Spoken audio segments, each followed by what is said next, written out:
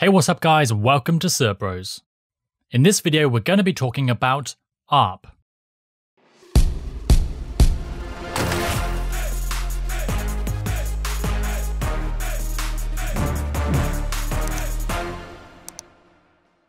So, what is ARP? ARP stands for Address Resolution Protocol and is designed to discover MAC addresses and then map them to an IP address. So let's see how this works.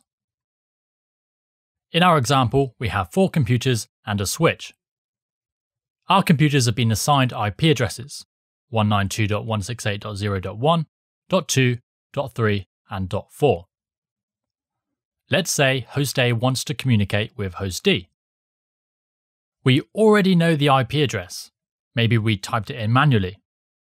But remember, switches are layer 2 devices, which use MAC addresses, not IP addresses. So for host A to communicate with host D, it somehow needs to find out its MAC address. The way it does this is simple. Host A will shout out to the entire network saying, Who is 192.168.0.4?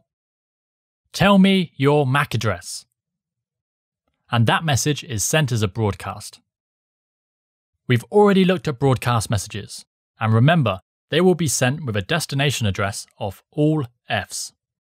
And the switch will send this out of every interface except the one that received it. Host B and host C will look at this message and think, 192.168.0.4? That's not me. And they discard the frame. But when host D sees the message, he says, Ooh, 192.168.0.4, that's me. Here is my MAC address. And then host D replies with his MAC address directly to host A. When our computers learn MAC addresses, they are stored in a table for future use. It lists the known IP addresses and their associated MAC addresses.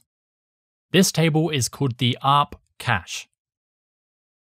From this point forward, if host A needs to talk to host D, it just needs to look up the IP address in the ARP cache to find the correct MAC address. And now they can both send frames happily.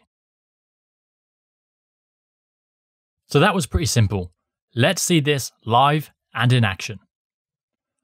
I'm going to click the Start button and type PowerShell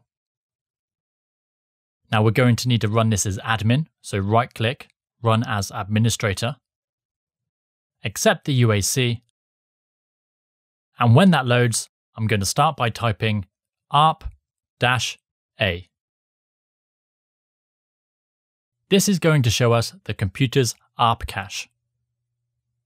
We have the internet address, which is the IP address, the physical address, which is the linked MAC address, and we have the type. This shows us if the MAC address was learnt by ARP or if it's a static entry. You can see we have three static entries, and this is by default. The top one is something called a direct broadcast address. You should be able to recognize this by the IP address. It's the last IP in the network. You should also be able to recognize it by the associated MAC address, which is all Fs. This tells us this is a broadcast address. The bottom two are multicast addresses. You can see that from the first six characters of the MAC address. So, because my computer already knows the MAC address of 192.168.0.4, I'm going to run arp-d 192.168.0.4, and this is going to delete that entry if I then type arp-a again, we see that entry has been removed. Now I'm going to open up a program called Wireshark, which will capture all of the traffic on this computer. We just need to select the interface and hit the Start Capture button. While that's running, I'm going to open PowerShell again and type ping 192.168 0.0.4. And this will trigger an ARP request. Once the ping has finished, we'll head back over to Wireshark and hit the stop button. There's not a huge amount to go through here, but if you're trying this at home, you will likely see a lot more information. This is a fresh PC, so not many applications are running. We can filter the capture by clicking at the top and typing ARP. Now we can see our ARP conversation happening. We can see the source and destination. Keep in mind though, Wireshark will try to resolve these MAC addresses to something a bit more readable. If we look at the info column, here we can see ARP requesting the MAC address of 192.168.0.4. With the first request selected, we can look at the bottom of the screen and see our source and destination MAC address. So host A is the source, and the destination is a broadcast MAC address. If we select the second one down, which is the reply, you can see in the info column, host D is replying with its MAC address. This reply is saying, hey, that's me. This is my MAC address. If we look at the bottom, we can see host D's MAC address is now the source, and host A's MAC address is now the destination. And now if we go back to our PowerShell window, run arp-a again, we can see that the entry is now back in the table. Let's look at one more scenario. Here we have two hosts, a router and a web server. If host A wants to communicate with the web server, what will it do first? Well, if we type in the IP address of the web server, host A will compare that IP address with its own. It will look at 192.168.0.1 and 10.10.10.10 and it will realize the web server is not in the same network. ARP requests only happen in layer 2 networks. So we can't send an ARP request to the web server. So what do we do? Knowing it needs to get off the network, host A will do the same ARP request, but not to the web server, through its default gateway, which in this example is the router. The default gateway is like the door out of the network and is configured alongside the IP address.